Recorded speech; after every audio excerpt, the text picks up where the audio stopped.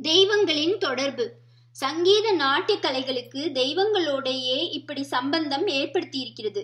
நடராஜமூர்த்தி போல லோகத்திலே எதுவும் கிடையாது என்று இந்த லோகத்தில் இருக்கிற அறிஞர்கள் எல்லாரும் சொல்கிறார்கள். நம் தேசத்துக்கு ரொம்ப உசந்த சிம்பலாக வெளி தேசத்தில் இருக்கிறவர்களுக்கு ஏதாவது பிரசன்ட் பண்ணுவதென்றால் ராஜாங்கத்தினரே நட்ராஜ விக்கிரகம் தான் கொடுக்கிறார்கள். அந்நிய தேச மியூசியங்களுக்கு மில்லியன் ரெண்டு மில்லியன் டாலர் விலைக்கு போவது நம் கோவில்களில் இருந்து திருடின நட்ராஜா தான் என்றால் அந்த நட்ராஜாவின் சிறப்பு முழுவதும் நடனத்தால் ஏற்படுவதுதான். நர்த்தன கணபதி காளிங்க நர்த்தன மூர்த்தி நடன சரஸ்வதி என்றெல்லாமும் நாட்டிய மூர்த்திகள் இருக்கின்றன. வாத்தியங்களை எடுத்துக்கொண்டாலும் ஒரே தெய்வ சம்பந்தம்தான். கலை தெய்வம் என்றே சொல்கிற சரஸ்வதி கையில் வீணை இருக்கிறது. வீணைதான் நம் சங்கீதத்துக்கே ஜீவ நாடி என்பார்கள். அதனால் ஒவ்வொரு தெய்வத்துக்கும் உள்ள வீணைக்கென்று ஒரு பெயர் உண்டு. கச்சபி என்பது சரஸ்வதியின் வீணை. விபஞ்சா காயந்தி என்ற சௌந்தர்ய லஹரி ஸ்லோகத்தில் சரஸ்வதியானவள் அம்பிகையின் சந்நிதியிலே சிவலீலைகளை வாயால் பாடிக்கொண்டே விபஞ்சி வாசிக்கிறாள் என்று ஆச்சாரியால் வர்ணித்திருக்கிறார். விபஞ்சி என்பது வீணைக்கு ஒரு பொது பெயர் நாரத கானம் என்பதாக சங்கீதத்தில் பரம உத்கிருஷ்டமானதை சொல்கிறோம். தியாகராஜ சுவாமிகளுக்கு சங்கீத சாஸ்திர புஸ்தகத்தை கொடுத்து அனுகிரகித்தவர் நாரதர் தான் நாரத குருசுவாமி என்று அவர் மேலேயே தியாகையர்வாள் பாடியிருக்கிறார். நாரதர் கையிலும் வீணை இருக்கிறது. அந்த வீணைக்கு மகதி என்று பெயர் எம் இறை நல் வீணை வாசிக்கும்மே என்பதாக அப்பர் சுவாமிகள் பரமசிவன் வீணாகானம் செய்து கொண்டிருப்பதை சொல்கிறார். கைலாசத்துக்கு அடியிலே மாட்டிக்கொண்ட ராவணேஸ்வரன் அதிலிருந்து விடுபடுவதற்காக தன் சிரசுகள் நரம்புகள் ஆகியவற்றை அறுத்து வீணை பண்ணி அதில் சாமகானத்தை வாசித்தே ஈஸ்வரனை திருப்தி பண்ணி மீண்டான் என்று கதை. கிருஷ்ண பரமாத்மா என்றாலே அவரோடு இணை பிரிக்க முடியாததாக புல்லாங்குழல் வந்துவிடுகிறது வேணுகோபாலன் முரளிதரன் என்றெல்லாம் அவருக்கு பெயர்கள் ஏற்பட்டிருக்கின்றன. பிரதோஷ ஸ்தோத்திரம் என்று ஒன்று உண்டு. அதிலே அத்தனை தெய்வங்களையும் கீத வாத்தியங்களோடு சம்பந்தப்படுத்தி சொல்லியிருக்கிறது. சாக்ஷாத் பரமேஸ்வரன் பிரதோஷ காலத்தில் அம்பாளை ரத்ன பீடத்தில் உட்கார்த்தி வைத்துவிட்டு அவளுக்கு எதிரே கைலாச மலையிலே நடனம் செய்கிறானாம். அவனுடைய டான்ஸ்க்கு தான் ஆர்கெஸ்ட்ராவாக அத்தனை தேவர்களும் வாத்தியம் வாசிக்க வந்திருக்கிறார்களாம். வாக்தேவியான சரஸ்வதி வீணை வாசிக்கிறாளாம். வீணைக்கு வல்லகி என்று ஒரு பேர். அந்த பெயரைத்தான் இங்கே சொல்லி இருக்கிறது இந்திரன் புல்லாங்குழல் ஊதுகிறானாம். பிரம்மா ஜால்ரா போடுகிறாராம். லக்ஷ்மி வாய் பாட்டு பாடுகிறாளாம். விஷ்ணு மிருதங்கம் வாசிக்கிறாராம். நந்திகேஸ்வரரை தான் பொதுவில் மிருதங்கத்துக்கு சொல்வது வழக்கம். ஆனால் பிரதோஷ தாண்டவத்தின் போது நந்திகேஸ்வரர் எஜமானனின் லாவண்யத்தில் தன்னையே மறந்து போய்விட்டார் போல் இருக்கிறது. அதனால் மகாவிஷ்ணு மிருதங்கம் வாசித்திருக்கிறார். பரமேஸ்வரனோடு மகாவிஷ்ணுவுக்கு எத்தனை விதமான உறவுகள் இருக்கின்றன? என்று நம் ஆச்சாரியால் சிவானந்த லஹரியில் பானத்வம் ரிஷபத்வம் என்ற ஸ்லோகத்தில் அவர் அடுக்கிக் கொண்டே போகிற போதும் அவர் சிவதாண்டவத்துக்கு மத்தளம் கொட்டுவதை மிருதங்க வகதா என்று குறி குறிப்பிடுகிறார்.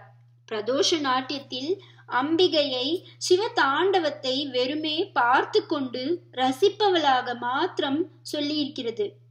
இந்த ஆனந்த தாண்டவத்தை மட்டுமின்றி கல்ப பிரளயத்தில் எல்லாவற்றையும் தன்னில் ஒடுக்கிக் கொண்டு ஈஸ்வரன் சம்ஹார தாண்டம் செய்யும் போதும் அம்பாள் ஒருத்தி மட்டும் அழிந்து போகாமல் அதை பார்த்து கொண்டிருக்கிறாள் என்று லலிதா சகசிரநாமத்தில் சொல்லியிருக்கிறது.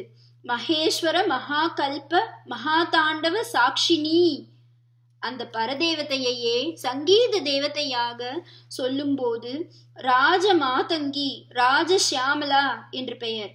மீனாட்சி மே முதம் தேஹி ராஜ மாதங்கி என்று தீக்ஷிதர் பாடியிருக்கிறபடி மதுரையிலே நித்தியவாசம் பண்ணுகிற மீனாட்சியானவள் பராசக்தி சங்கீதத்தின் அதி தெய்வமாக இருக்கப்பட்ட அவசரம் கோலம்தான். காஞ்சிபுரத்தில் காமாட்சி கோவிலிலும் இவளுக்கு தனி சந்நிதி இருக்கிறது. சியாமலா தண்டகம் இப்படி சங்கீத மூர்த்தியாக இருக்கப்பட்ட பராசக்தியை பற்றியதே. நவரத்னமாலா என்பதாக ஓம்கார பஞ்சர சுகீம் என்று ஆரம்பிக்கிற ஸ்துதி ஒன்றை காளிதாசன் செய்திருக்கிறான். அதுவும் இந்த சியாமலா தேவியை பற்றியதுதான். அதிலே இவளும் சரஸ்வதியை போலவே கையில் வீணை வைத்துக் கொண்டிருப்பதாக சொல்லியிருக்கிறது. வீணா சங்கிராந்த காந்தஹஸ்தாம். நிறத்தில் மட்டும் இவளுக்கும் அவளுக்கும் நேர் வித்தியாசம். சரஸ்வதி நல்ல வெளுப்பு இவ்வளோ சாம்பல் கருப்பு அதனால்தான் ஷியாமலா என்று பெயர்.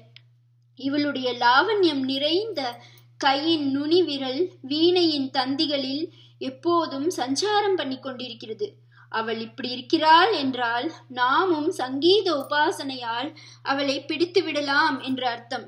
நிறைய சாஸ்திராபியாசம் பண்ணி யோகாதிகளால் சித்தத்தை நிறுத்தி வசப்படுத்த முடியாத நாமும் ஸ்வரங்களில் லயிப்பதால் மனசை நிறுத்தி அவளுடைய சரணார விந்தத்தில் அதை கிடத்தி விடலாம்.